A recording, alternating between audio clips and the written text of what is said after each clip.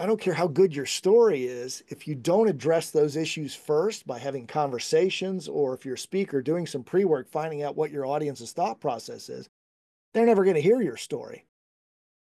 So, as a corollary to Ralph Waldo Emerson's famous statement, I came up with this one. The story playing in your head speaks so loudly, you cannot hear what I am saying.